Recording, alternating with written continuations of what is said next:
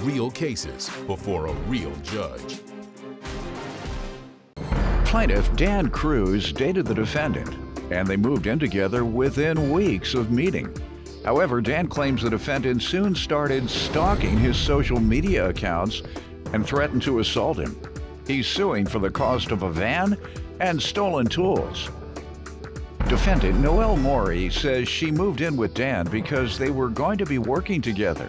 But they broke up because he talked down to her on the job sites and ended up cheating on her. She's countersuing for unpaid wages. Start with you, sir. Okay, so um, I uh, met Noelle, and then uh, after uh, knowing her for a couple weeks, um, I asked her if she wanted to come to Indianapolis and hang out with me. And uh, she, How'd you meet her? uh, through a friend. Okay, wasn't the internet? Uh, no, a friend of mine was working for me, and he brought Noelle around with him. Okay. And uh, so I met her like that. And then um, after knowing her for a couple weeks, I asked her if she wanted to come to Indianapolis and stay with me. and Live? hang- And hang out. Yeah. Oh, hang would- out. Hang out. We were. I, I have an RV in Indianapolis. Got it. And uh, we were in South Bend when we met. And so uh, she wasn't working, and the house she was staying in was being sold. So I asked her if she wanted to come to Indy and hang out, and she said yes. So then she came down to Indianapolis with me, um, and then uh, Corona season hit. So we were locked up in the uh, RV for the next four months, which was fine. You know, she's attractive girl. I was happy to have her there. You know, and uh, so then after being there for uh, four months or so, You are didn't you? And you had just met the woman, just met her. and you got along fine, being around each other 24/7 for how many months? For like six, eight for like months. a total of six months. Uh, you know, That's pretty uh, interesting. and so so there was a good five months there. Yeah, a lot of men uh, during the COVID have uh, gotten divorced, and women divorced them as well, of course. But uh, you know, kind of didn't know what it's like to be with their wives. Well, I'm, I'm trying. I'm, try, I'm trying to 24/7. get. Yeah. And when I'm they trying to get found out, they said, "This is It not ain't what so I easy." meant to buy." Yeah. So you try what? I'm, I'm trying to get a divorce. I've been trying to get divorced for three years now. So And Um, I'm surprised at myself, though, really. I'm proud of myself. I really enjoyed being my wife all these times. There you go. I really did. But what am I, 40 years in? Yeah. And I still do, as you Yeah. just said. That's romantic. Very charming. don't, don't take a joke too far. I think I did bring some roses on one of those out. That was her birthday, though. Defendant Noelle Maury is being sued by her ex boyfriend, who claims Noelle stalked his social media accounts, threatened to assault him, and tore up his RV. So you are together that long, 24 7, locked into, and that was small quarters. it was fine. Everything was good. And then uh, all of a sudden, she started uh, mixing our towels together, and you know, saying that it didn't matter that our towels were mixed, and you know, and then uh, next thing you know, she's stalking my Facebook page and and getting mad about. Um, me liking other people's posts and you know other girls' posts, and so she'd start waking up talking about throat punching me and slamming Throat yeah, punching throat punching me. Yeah, I can't even I can't even I can't put it the way she said it, but um, that's mild. That's mild. Throat punch is mild. She has much more colorful words. When did it flip? You all were 24 7 in the trailer home, dovey. When did it flip over and tell me, punch you in your throat? I'm to kill you. That'll it, kill you. It, it flipped one day when uh, she was chain smoking cigarettes, and uh, I couldn't do the cigarettes. And uh, we're driving a couple hours down the highway, and so she, you almost got killed over a cigarette. Go ahead, I'll let you. No, I'm serious now. She was serious about them cigarettes. I mean, them cigarettes were probably about the most important thing to her. And and I'm not a smoker. I don't do cigarettes. And uh, so one day she got all ticked off about these cigarettes and uh, woke me up for the second time at three in the morning, slamming cabinets and and, and cupboards. And uh, I Saying knew- what? I need some cigarettes. Where'd you put my cigarette? What saying what? I think she was trying to make me mad because I was sleeping. So when you're slamming doors and cabinets and cupboards at three in the morning, I don't know what's going on in your head. Let me hear from you, ma'am. Tell me some. Uh, you give me some insight into the relationship up until the stage that he just spoke of. Um, it wasn't us hanging out. I was working for him. I painted uh, trailers. He worked for uh, trailer communities and would rehab the trailers. So after working for him for First, you met him through a friend, worked Painting. for him. hmm and it was met him working for him. And worked for him for uh, i believe the one in town was a week and then i went down with the friend um, to indianapolis and worked with him there for another week. Every day i was paid. At the end of the day everything seemed good. I was painting and doing different things learning different trades um, he asked me if i would like to come to indianapolis permanently and work with him going back and forth. I, that would work for me at the time. I said that'd be perfect. Um, he had a place to stay, so it would be low cost and we'd be making money. It was good. I mean, he did get angry fast. He got upset. I've smoked cigarettes for many years before him. He knew I smoked. Tell him I smoked. I'm not gonna quit smoking today, maybe in the future, but you getting so upset makes me want to smoke another cigarette.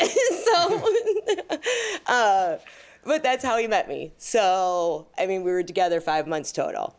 Um, And that was the only thing going wrong, primarily. um, that and money, I don't know. So there was some other things, the way he spoke to me, the way I was treated on a continual basis, I did not appreciate. Talking down to me at the jobs, his cheating. and I don't have time for that.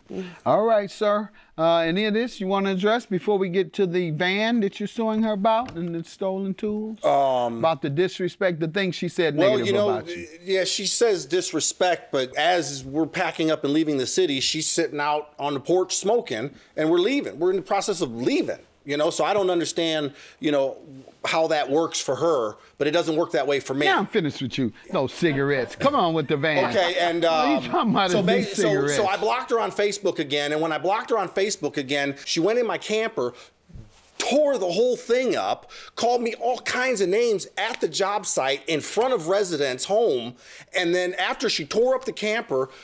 Cussed me up and down. I went and hid because I didn't want any confrontation, right? And then uh, she packed up, took my stuff, took her stuff, vandalized the camper, left, went to South Bend, and then took a bunch more of my stuff. And that's how we're at this piece of the of the van. I like that about you. You say you run. I'm not run. You say you do what? Hid when she's I- coming I- looking yeah, for I just went the other way. I didn't And I do. I do the same thing. I- I if I, didn't- know I've gotten my wife upset or something, and She- I don't know how it's gonna turn out, you know, I run. She, she's calling me everything but oh, Dan Oh, yeah, I just take and off talking running. about throat punching me. Because I don't want to say the wrong thing back. Right. So I just take off running. All right, so that's what you do. You hide. I was hiding. Okay. She's talking about throat punching me. I don't need any part of that. Defendant Noelle Maury is being sued by her ex boyfriend, who claims Noelle stalked his social media accounts, threatened to assault him, and tore up his RV. Tell me about the van and the stolen tools. You were telling me what happened. Okay, so her she took- destroying the camper. She took the tools when she destroyed the camper, along with my blankets and towels and, and silverware and everything she could get her hands on. Um, and then uh, uh, she went back to South Bend, went to my house, and when she went back to South Bend and went to my house, she took the title to this van, which was in South Bend because my daughter had had paid for it for me. Okay, and so she went, she took the title to this van. I came from Indianapolis back to South Bend. I called her. I'm at home. She shows up with the police with the title to my van in her name, and I had to unload my whole van of all my tools and sh of the tools I had left that she didn't take, and then uh, left me without a vehicle. There's a copy of that title. What about the tools? The, The tools? Uh huh. I don't know what tools he's talking about. What tools I are you talking about again? I had two The ones she took. tools. I had two DeWalt tools, an impact drill and a regular drill. Your Honor, she had two bags. And both of those impact or the impact and the regular drill, I did pawn because I had no money. When we broke up, I had forty dollars in my pocket. Mr. Cruz refused to pay me any money. He put those in my name because I was not getting paid. Any money that I was getting paid from Mr. Cruz, I was putting back So he gave you this in exchange for payment? Is that what you're Yeah, saying? Yeah. Well, it was as an asset for me because I explained If what? an asset for me because I explained to him. Uh, Yeah, but it was his asset because didn't you say he paid But he's for putting it? them in my name because he he, pay me. for it?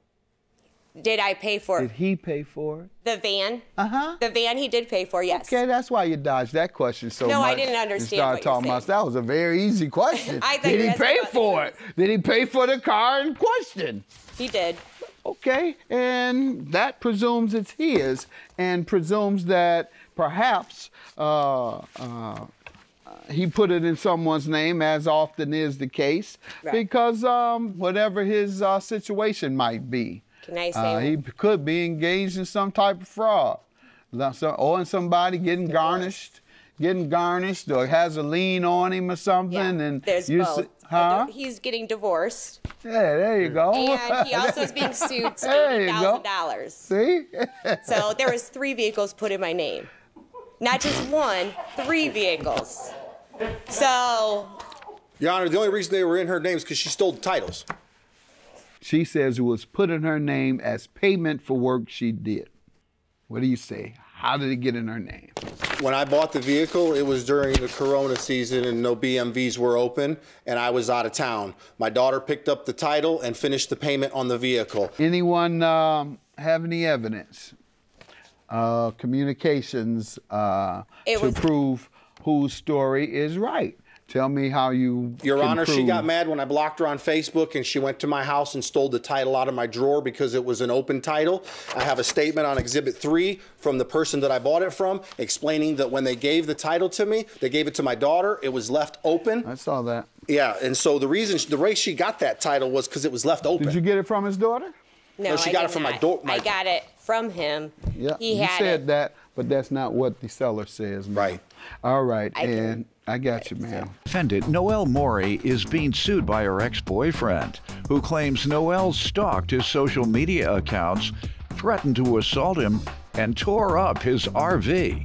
let's get to your unpaid wages because on the one hand you're saying you took the car for unpaid wages Correct. and now you want 5000 more what is that for Um, he owes me. I have a. Let me see. first let's go over the amount uh, what that represents with the car how much money in salary does that represent the van that we're talking Yes, about, the. Chevy Express. Yes, ma'am. Okay, the Chevy Express is two thousand dollars. There's can you a total of sixty three hundred and eighty dollars. Where? On page five and six. okay i see it five I star have- sheets new car Uh, each one of these are, our jobs. And so the total amount paid, it shows like Countryside Mobile Home Park. That was the park we did. And then there's a whole trailer paint. He got paid $2,000. We had agreed I get paid $10 an hour and a percent. Ma'am, let me tell you what I see that adds up to that, uh, because what you're saying I'm not clear is not clear to me. Five star sheets, Correct. new car loud. That's five thousand dollars. Correct. What is that? I don't even know what that is. Um, we Five star sheets. Did What is work for Five Star Sheets. That's the company's name. Uh huh. So You did Are, work for them yes. Well, I did work for his as a sub. Yes. His company had the contract. Correct. And you did the work. Correct. As a subcontractor to his company. he was paying me cash. It All right. really- And that's five thousand dollars he never paid you. No, five thousand dollars is the total he got paid. I was to get paid a percentage of the jobs.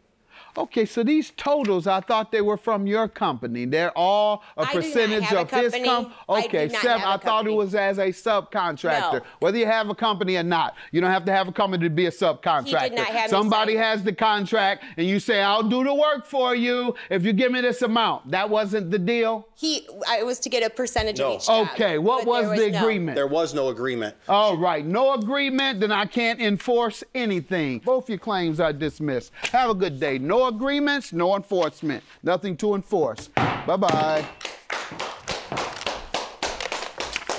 You could quit calling me. You're suing me. Don't call me. Okay. When we last spoke with plaintiff Dan Cruz, he told us that he tried to contact defendant Noelle Maury after their case, but she wouldn't respond. We tried reaching out to Noelle, but were unsuccessful. So, Noelle, if you're watching, please give us a call.